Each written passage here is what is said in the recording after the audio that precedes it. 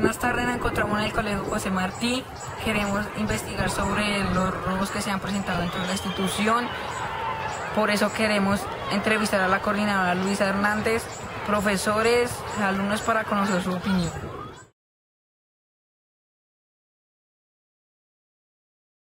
Mm, yo no podría decir con qué frecuencia, pero sí se presentan robos en el colegio, lamentablemente, porque pues estamos hablando de una institución educativa donde las, los estudiantes ya deberían estar pensando de una forma diferente, pero sí, sí tenemos ese inconveniente.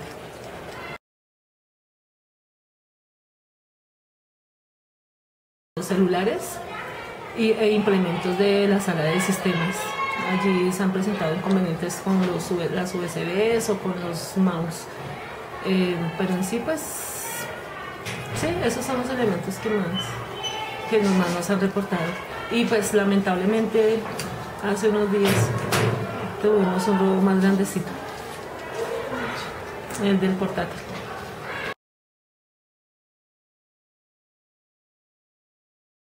Pues infortunadamente el mismo día que, que, se presentó el robo no pudimos hacer una requisa como debía ser, porque pues nosotros no podemos requisar a los estudiantes como tal.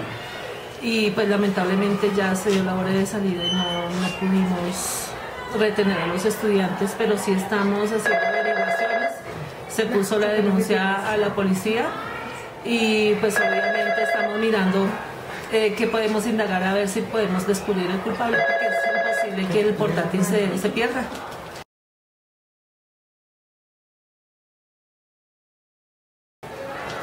Pues que lamentablemente es una situación que sabemos que, que no se presenta solamente en este colegio, que ya son eh, situaciones que vienen desde casa, desde, desde la misma comunidad, pero lo más triste de todo es que se supone que ya las personas que asistan a un colegio deben tener una mentalidad diferente frente a esto.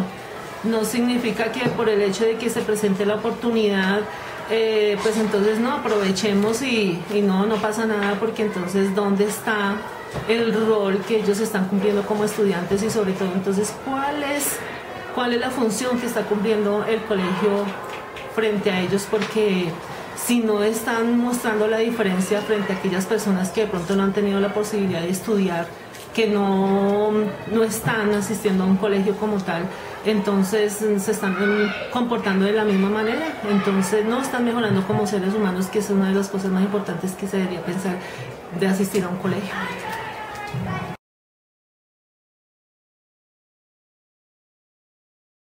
Bueno, lo primero que se hace es una negociación con el muchacho, por decirlo así, una conciliación. Entonces se llama primero a los estudiantes a, una mesa donde se habla con ellos y se pregunta los motivos por los cuales se realizó el hurto, ¿sí? Luego de esto se hace pues obviamente el debido proceso en su observador y se llaman a acudientes pues para comunicarles la información que se obtuvo de los muchachos frente al robo si el muchacho ya tiene antecedentes de otras em, faltas disciplinarias, el muchacho pasa a comité eh, de convivencia eh, institucional, que el cual tomará una determinación frente a la, situación. Casi siempre se toma es realizar una sanción eh, en la cual se le dejan trabajos pedagógicos para que el muchacho realice y fuera de eso el muchacho debe realizar como una concientización con sus compañeros sobre la falta que ha cometido. Pero si el muchacho ya tiene un problema demasiado fuerte, ya ha pasado por un proceso de sanción con trabajos pedagógicos, el muchacho ya pasa a un comité eh, de convivencia institucional, o sea, donde se reúnen las cinco sedes, y ellos ya determinan qué se va a hacer con el muchacho. Casi siempre se da la opción de eh, mostrar como una matrícula condicional, que la menor falta pues se van eh, pero entonces lo que busca el colegio es como no decir váyase de una vez, sino como darle todas las opciones para que el muchacho tenga un proceso de regeneración, por decirlo así, y se pueda resocializar nuevamente. Entonces, pues, ese es el proceso que se lleva dentro de la institución cuando se descubre el hurto.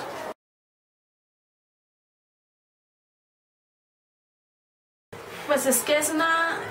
Hablar de robo implica muchas cosas. Primero hay que analizar el entorno donde se genera, ¿sí? Nosotros estamos en una situación donde eh, desafortunadamente la historia que tiene cada uno de nuestros estudiantes es muy fuerte, es muy dura, ¿sí? Y pues hablar de robo como tal, decir usted es malo, usted es bueno porque lo ha hecho, es muy difícil porque hay que mirar bajo qué condiciones se hace.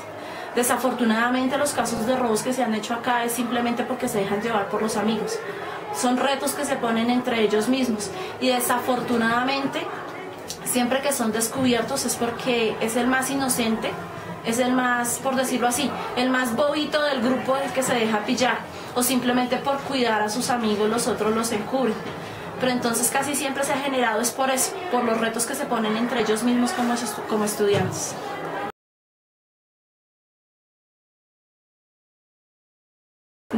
Dios. No, y pues yo puedo decir que soy una de las profes que puedo estar tranquila con mis estudiantes porque no me ha pasado nada y espero no me suceda. Pero no, yo puedo decir que estoy tranquila con ellos.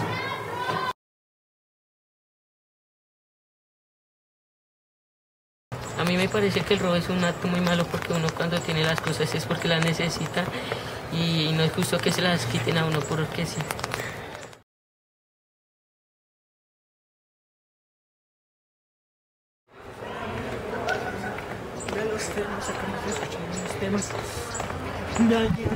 Uy, no.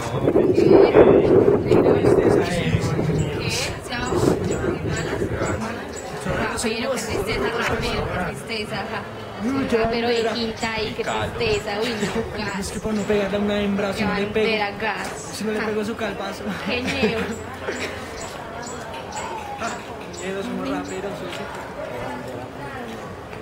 sí. Es que saben, ¿saben qué pasa? Ahorita. ¿Qué? ¿Qué? Pero negros. Los que sobran son los negros. Sora. Ahora saca, Sora, Sora, Sora. Sora, Sora. Eso es fuerte. Menos sabe que vámonos de esta banda. Venga, ¿les puedo hacer una pregunta? Señora, ¿Ustedes están de acuerdo con la discriminación en Colombia? Ay, suerte. Venga, no le estoy diciendo que sea grosera. No, suerte, suerte. Ahora Bueno, cállese usted. ¿Ustedes están de acuerdo? Suerte. no tampoco. Porque entonces se discriminan si todos somos seres humanos y merecemos respeto. Se abra. Porque no llegamos a un acuerdo.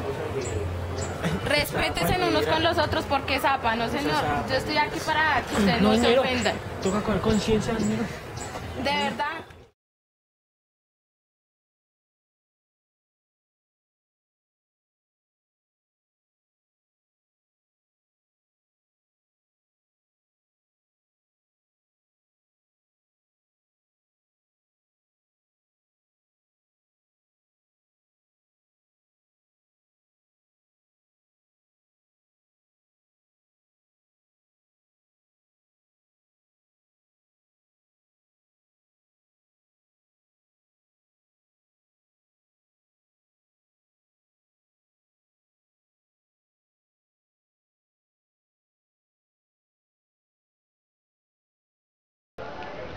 Buenas tardes, bienvenidos y me encanta conversar con ustedes. Gracias. ¿Qué sería? ¿En qué les puedo colaborar?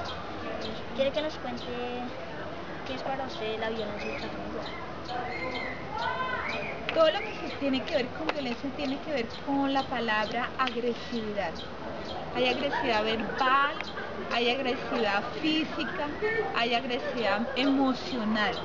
Todo lo que cause humillación al otro, dolor físico, dolor moral, eso es violencia. Hay una violencia específica que se llama familiar y es la violencia que tiene que ver la que se forma entre el núcleo familiar, entendiendo papá y mamá o abuelos o tíos, porque generalmente en nuestra comunidad la vida familiar se extiende a los abuelos que generalmente son los que quedan al cuidado de los niños o los tíos o familiares cercanos. Entonces es todo lo que comprende agresividad, la desarmonía en la convivencia, el no tener valores para vivir y vivir y con que es una forma cualquiera sin pensar en el otro. ¿Cuáles son más frecuentes? En la física, que es, se ve el golpe, se ve que el pelo está dañado, ¿sí? Em, la psicológica, donde tú millo, tú eres mujer, tú no sirves para nada, eh, yo soy el hombre, yo soy el que doy la plata, usted tiene que hacer lo que yo quiera, entonces la, la mujer toma un papel de servidumbre, ¿sí? Y no hay, eh, no hay- no hay una relación de igualdad. Tanto tú como mujer y, yo como hombre aportamos, no.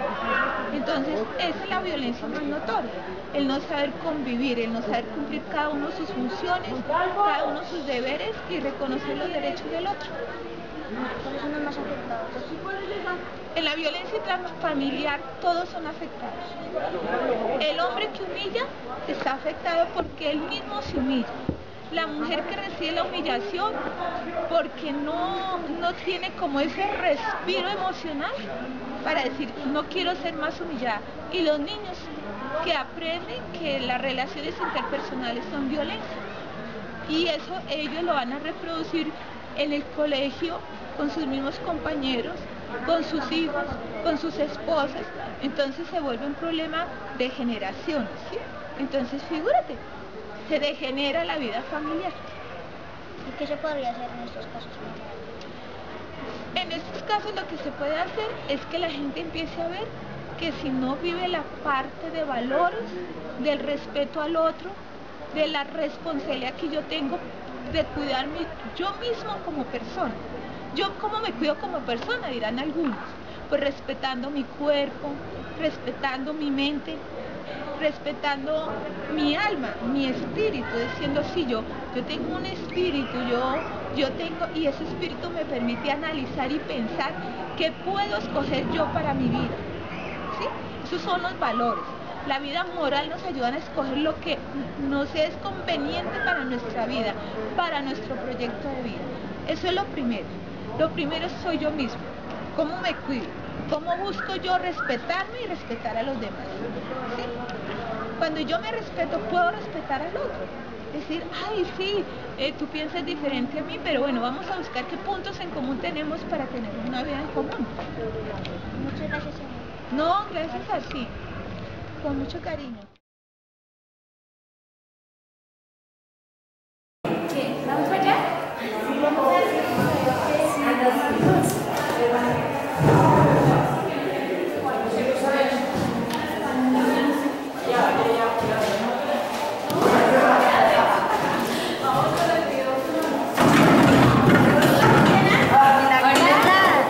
Ah, no, que, que veníamos a ver qué está haciendo. Nada, acá estudiando para el examen de inglés. Ah, ¿sí? No, que, que Isa le quería dar a probar una cosa. A ver si... No, a ver si pues si le gusta. No, sí, Solamente si eso que- está de que- moda. que así, relájese, que eso no es nada. Sí, No, bien. Sí, sí. Hágale que eso no pasa nada, hágalo. ¿Qué? ¿Cómo se siente? ¿Sí ve que se siente rechimba? Oído. Ah, ¿sí ve? Entonces,